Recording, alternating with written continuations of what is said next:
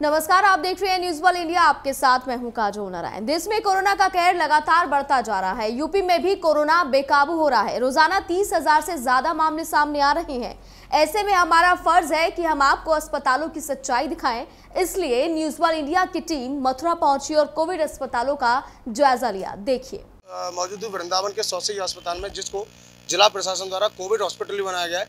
मैं आपको दिखा दूँ कि ये हॉस्पिटल है और इसके अंदर जो कोविड हॉस्पिटल बनाया गया है, वहाँ पर बेड है और बेड के साथ साथ जो मरीज़ हैं कोविड के, वो यहाँ एडमिट है। क्योंकि वहाँ पर मीडिया को अलाउड नहीं है, इसलिए हम वहाँ जा नहीं सकते। और चूँकि संक्रमित होने का बहुत सारे लोगों को जो है इस समय डर है, उसको लेकर के भी लोग वहाँ नहीं जा रहे। उसके साथ साथ ही हमारे साथ यहाँ के डॉक्टर हैं, सीएम साहब, उनसे हम बात करते हैं किस तरह की व्यवस्था है यहाँ की। देखिए, ऐसा है कि जैसा आपको पता है कि जिलाधिकारी द्वारा इस अस्पताल को कोविड अस्पताल घोषित कर दिया गया है। यहाँ निरंतर मरीज़ आ रहे हैं, भर्ती भी कर रहे हैं, पूरा हमारा डॉक- मेडिकल स्टाफ, चाहे वो डॉक्टर हो, चाहे पैरामेडिकल हो, चाहे हमारे स्वीपर हो, सफ़ाई कर्मचारी हो, चौबीस घंटे निरंतर सेवा में अपने दे रहे हैं और लगे हुए हैं।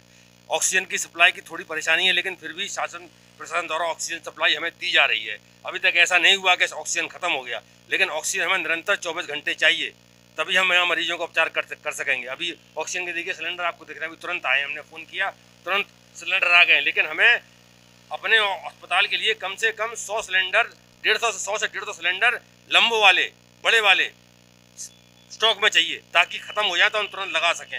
आप हाँ तो आप आप ये हाँ हाँ हाँ, तो आप ये समझ लीजिए कि जो जो हमारे यहाँ जो ऑक्सीजन मतलब सेंट्रल ऑक्सीजन यूनिट है हमारे यहाँ सेंट्रल ऑक्सीजन यूनिट है तभी इसको कोविड अस्पताल बनाया गया है। सेंट्रल ऑक्सीजन यूनिट में कम से कम ये समझ लीजिए आपके तीन तीन घंटे में लगभग तीन घंटे में आठ आठ से दस सिलेंडर खत्म हो जाते हैं। तीन घंटे में।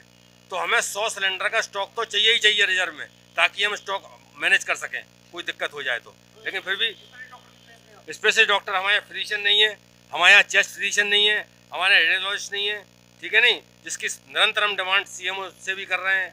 हमने कई बार चिट्ठी पत्र भी लिखी हुई है। लेकिन यह है कि अब वो अपने स्तर से व्यवस्था करेंगे। हालाँकि सीएमओ ने कुछ डॉक्टर हमारे पास भेजे हैं, कुछ मेडिकल अफसर भेजे हैं वेंटिलेटर हमारे पास समय कोई नहीं है। को बात करें तो हॉस्पिटल में समय कितने पेशेंट हैं उनकी क्या स्थिति है? अभी देखिए अभी एग्जैक्ट तो मुझे रेशियो नहीं मालूम लेकिन हाँ तीस से चालीस के बीच मरीज़ हमारे पास मौजूद है। ठीक है नहीं? मरीज़ आ रहे हैं जा रहे हैं तो एग्जैक्ट रेशियो पता नहीं पड़ पाता? यहाँ है कम चौवन बेड की व्यवस्था क्योंकि चौवन बेड पर यहाँ पर सेंट्रल ऑक्सीजन यूनिट चालू है। मतलब जो ऑक्सीजन पाइप से ऑक्सीजन जा रही है वो चौवन बेड पे है। ठीक है नहीं? तो फ़िलहाल चौवन बेड की व्यवस्था यहाँ पर है। लेकिन अब जैसे जैसे स्थिति होती जाएगी वैसे वैसे बेड को भी हम बढ़ाते जाएँगे। है ना? लेकिन फ़िलहाल अभी चौवन बेड की व्यवस्था है मरीज़ आ रहे हैं ऑक्सीजन लोगों को मिल रही है है ना? लेकिन हम बराबर डिमांड करते जा रहे हैं डिमांड भी पूरी हो रही है लेकिन ये है कि हमको स्टॉक में कम से कम सौ सिलेंडर चाहिए। डीएम साहब कह रहे थे कि यहाँ पे 200 बेड की व्यवस्था की जा रही है 200 मरीजों की। व्यवस्था ऐसी मेरे संज्ञान में तो नहीं है। ऐसा संज्ञान में मेरे फ़िलहाल तो नहीं है। मेरे संज्ञान में नहीं है ऐसा कुछ। 200 बेड नहीं हमारे यहाँ कोई एमडी नहीं है। ना ना हमारे यहाँ कोई एमडी नहीं है ना हमारे यहाँ कोई फिजिशियन है ना हमारे यहाँ कोई चेस्ट फिजिशियन है।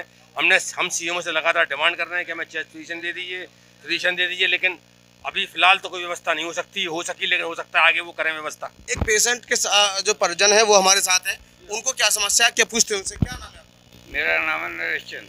क्या समस्या है यहाँ पे? मेरा बेटा है यहाँ पर। उसको एक घंटे से ऊपर हो गया बैठे हुए कोई बेड नहीं मिला उसको ना कोई ऑक्सीजन उसकी ऑक्सीजन क्या समस्या जा रही है। बगैर ऑक्सीजन उसको ऑक्सीजन का लेवल घटता चला जा रहा है। कब से कब से कब कितनी देर हो गई एक डेढ़ घंटा हो गया मुझे यहाँ बैठे हुए।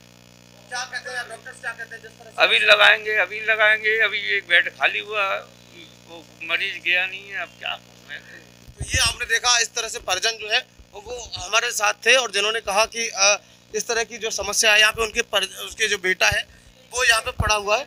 और वो जो है ये इस तरह से ये देखिए एक पेशेंट यहाँ इस, इस टेंपो में भी इसमें जो है पड़ा हुआ है। देखते हैं क्या स्थिति है इसकी। क्या हुआ है इन्हें ये देखिए ये हॉस्पिटल ये क्या क्या हुआ है इन्हें इनको मतलब सूजन आ रही है छाती पर पानी भर गया काके में। तो क्या भर्ती हो रहे हैं नहीं हो रहे हैं? पता नहीं है कोई पता ही नहीं पड़ रहा अभी तो। आप कौन है इनके? ये देखिए ये ये जो आ, ये जो एक पेशेंट है ये पेशेंट जो है यहाँ पे टेंपो में टेंपो में आ, जो है पड़े अभी काफ़ी देर से इनको कोई ना तो ट्रीटमेंट मिला है ना ही यहाँ पे भर्ती किया है। तो इस तरह की है। आप क्या कहेंगे किस तरह की समस्या यहाँ रही है? सर परेशानी है हमको तो सारी इसलिए हम बोल रहे हैं आपसे। कम से कम पचास हॉस्पिटल में घूम घूम के आगे कोई लेने के लिए तैयारी नहीं हो रहा है। क्या कहते हैं? क्यों कहते हैं बेड खाली नहीं है बेड खाली नहीं है सीट खाली नहीं है बस यही बोल देते हैं।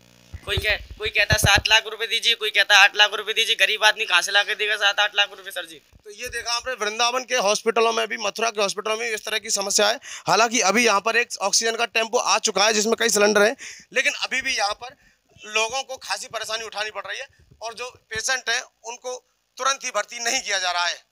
तो जिस तरह से पूरे देश में तस्वीर सामने आ रही थी, उसी तरह की तस्वीर आज वृंदावन से भी सामने आई है। अब देखते हैं कि यहाँ का जिला प्रशासन और स्वास्थ्य प्रशासन इसको किस तरह से लेता है और कब तक इनको इलाज मिल पाता है। Suresh Saini news world India Mathura.